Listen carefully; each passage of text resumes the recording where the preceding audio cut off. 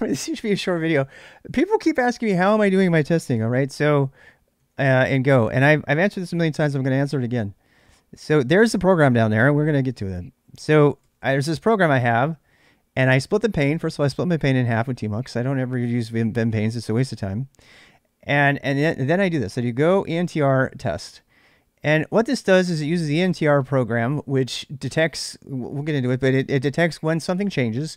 And if something changes in the list of files that you pass to it, then it runs whatever it is you tell it to run, right? And we'll, we'll break it down for you in a second, but let me show you what it does.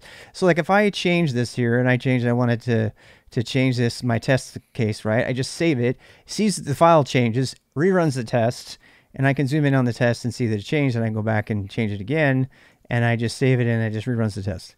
There's no keystrokes involved. It just does the test and shows me. I mean, there's so many different ways the test go. This is, I mean, there's a lot of things that people do. I find the use of ENTR to be magical and wonderful because you can use it for anything. Maybe, maybe you don't, you want to run, run the test case. Maybe you want to run it just for this one thing this one specific test case. Maybe you wanted to compile the code in a different way and do a thing. Uh, you can do anything with the ENTR command. So if you don't know about the ENTR command, you should go learn about it.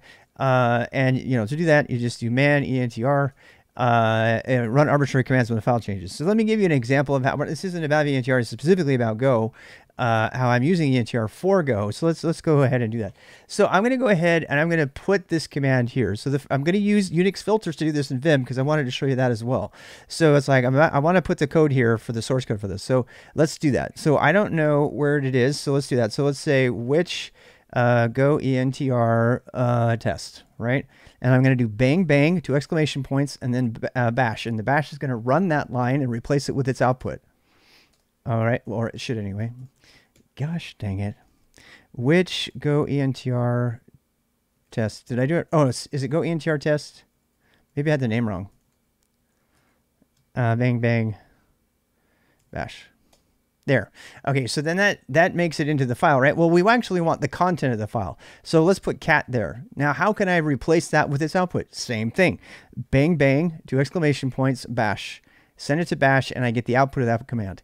That is why I don't use plugins and NeoVim because I can just use any script that I could ever write, any command I could ever write on the command line. I can do that. I don't need it. The only thing I need plugins for is syntax. So that's a separate video.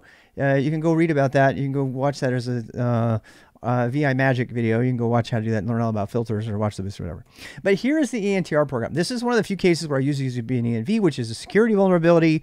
But that's fine in this case because I want to be able to run it anywhere on my Mac and on in this case on a Mac or Windows uh, VM or whatever, and I'll be able to go do that. Uh, uh, so, so thank you for that, Klondike. Um, so here's the command. Okay, now the first thing you might notice is so let's first of all let's look at the end here. So this is another reason you should use Bash and not POSIX and not Z shell. Uh, so this right here is a Bashism. Z shell I think supports it, but what this says is take the output of this command, right? Turn it into as if it were in a file, and then redirect that into this as standard input. So this takes find and find says, give me every single file from here down, everything down. Find dot, it says, give me every single file from here down and send those all into here, into ENTR, right? So when ENTR runs, it then keeps track of all of those files. And if any of those files change at all, if their last modified time changes, it does this command, right? Now, normally you could have just put go test here, right? But in my case, I wanted to make it so it could the screen and so I, I wanted kind of a multi-level command thing. And for that, the secret is to do bash dash c, which sends this entire little miniature program uh, as your single program. So ENTR does a syscall uh, an exec syscall, which means that it only gets one binary. You can't have it run multiple, you can't send it a whole shell script, right? So this is how you send it a shell script by sending it one binary and then giving it the arguments for the shell code to write. So that is what it's doing. And that runs every time anything changes, whether I whether I rewrite the main code or I rewrite the example code, anything in that in that directory that changes. I can even just touch a file in there if I've changed something it's not watching, like in my test data directory, um, and it, and it'll go ahead and it'll rerun it, and I'll see whether I passed or not. Now sometimes I have to go in here and I have to trick it, and this is something I don't know if you noticed this, but you see here, what is this about? Anybody know? Anybody know? We have anybody in the stream right now who knows what that's about? Why the hell would I put this here? I put that there because, and I did not quote it on purpose because what I wanted to do is I wanted to I, I wanted to expand all the arguments. So let me tell you why. So so like let's say um let's say that I'm like doing going here and it's like blowing the heck up because I I killed a million things, right? And there's way too many things broken at the time. So let, let me go ahead and break something again. So let me go. I'll break this one, right? So we're gonna break this one, and and so we broke that one, right? We didn't break them all, right? Uh, but but but I might, I might, I might break them. Let me let me let me try to break them all. Should we break them all? Let's let's break the things. Let's go break everything. Yeah, we're gonna break it all right now. We are. We're gonna break it right now. Watch. All this stuff's gonna break. Okay, so now over here, oops, only the one thing broke. Damn it. We need to break more things. I, I got to find more stuff to break. Anyway, so the, the point I'm trying to make is that, that is that you know you can break any number of things. You need to put too much stuff down there because I am splitting the screen, right? Sometimes I'll have it on a, another screen. I'll ba- I'll bounce back and forth between the screens.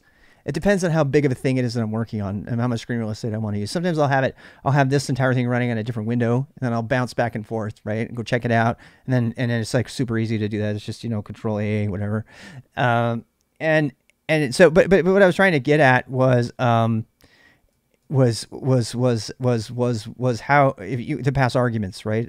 That's the thing. So let's break it again. So let's let's pretend like this was like three things that were that were thing. And i like hmm i need to isolate it to pretty. Well go test takes the argument run and it takes a regex right? So i could just put pretty here. And then that would make sure that only the pretty test ran instead of the panic from the other thing that went ballistic. And then it would i would i can isolate the test down to that really that single one and i can just go restart it if i want uh, sometimes I forget to that I that I'm I'm qualifying, and I think my whole thing is passed, and I'm like, oh, I have all these other problems because I because I I forgot to remove my run uh, isolator kind of thing.